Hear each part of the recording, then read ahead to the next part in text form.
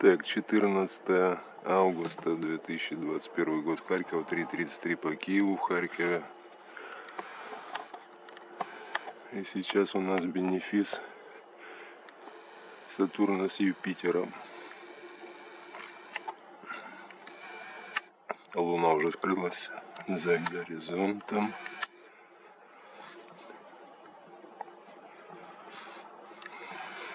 Весьма рад, что ее вчера получилось снять. Очень облачно. Было последние дни в Харькове. И сейчас небо очень дымчатое, но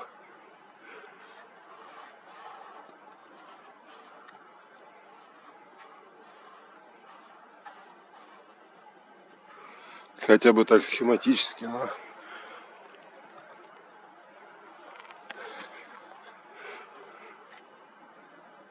Сатурн отображается.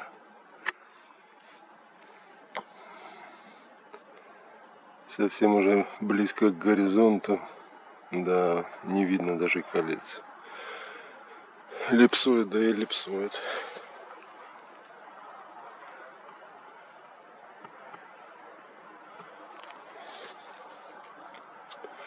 Ну и зато благодарен. ИСО 3200. Ужас, конечно.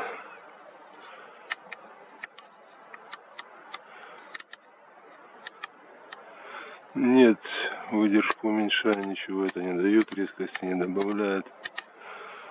Это не пересвет, это просто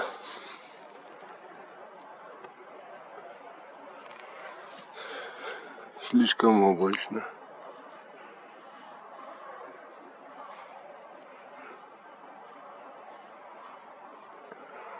Да, ну, наверное, это будет единственный дубль. Нет никакого смысла снимать дальше. Сейчас где-то 5 угловых градусов над горизонтом Сатурн. 1 миллиард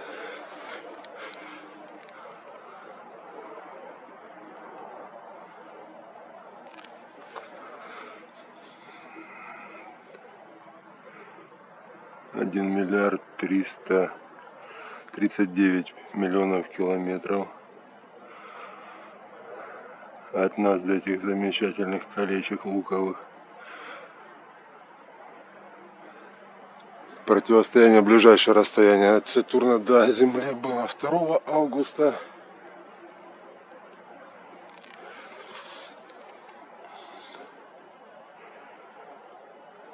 14 ну то есть практически две недели прошло. Ну 2 миллиона километров я в предыдущих дублях вчера говорил.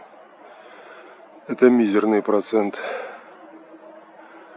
от расстояния почти в полтора миллиарда километров.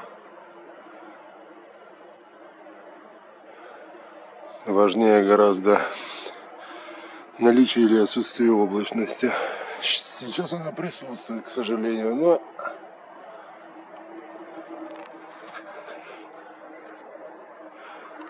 все же позволяет нам на нашего газового гиганта я сейчас не про метеоризм посмотреть. Да, кстати, там в комментариях кто-то спрашивал, почему там зимой кольца Сатурна вверх смотрят, летом вниз или что-то в этом духе. Это не зимой и весной, летом, осенью.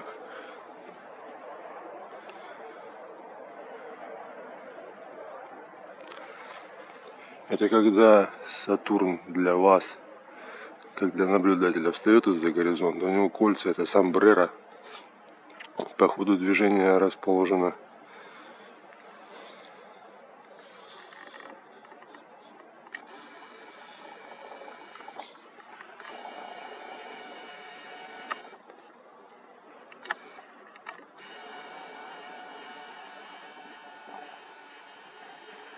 с высоко поднятой головой мексиканец идет, не знаю даже как это сказать.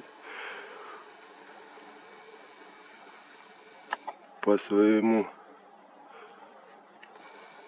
небосводному пути мексиканец Самбрера идет высоко поднял голову. Когда, то есть вчера, когда я вот Сатурн снял буквально в первые минуты, когда он выпался не то что из-за горизонта, а из-за облаков.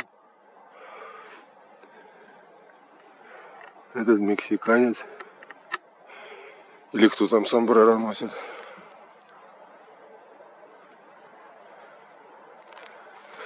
шел с высоко поднятой головой. Через кадр перемещался носом кверху. Сейчас уже ныряя за горизонт конце пути, ну для нас, как для наблюдателя.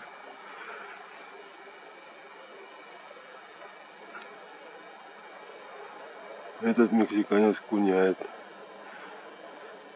и клюет носом.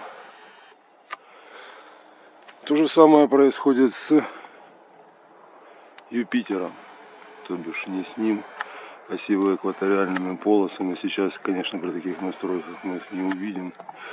Слишком ярко все и засвечено.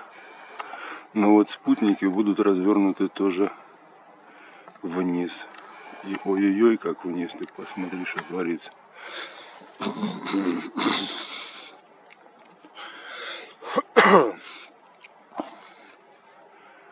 Ветер стих, ты представляешь, повезло, как надо же.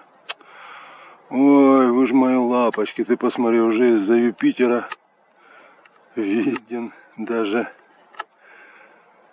Так, у нас два дуплета. Да, ну дуплет я снимал рядом с Юпитером. Ну вот так, чтобы два дуплета. Значит, смотрим. Огромная белая блямба. Это наш второй газовый гигант, виновник торжества. В том смысле, что 19 будет противостояние Юпитера. И ближайшее расстояние к Земле будет у этого газового монстра.